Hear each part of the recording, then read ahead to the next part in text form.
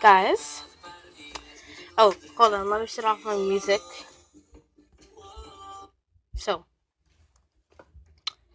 I went on the ship, and I was talking to a like a person I met and online, and we were just like role playing. Like a show a role play, of course. So, um, he asked me to take a picture of myself, and I just thought that like I should take a picture of myself. So he asked how old are you, ah. and I lied and I said I'm ah. twelve because I don't want to say I'm eleven. So,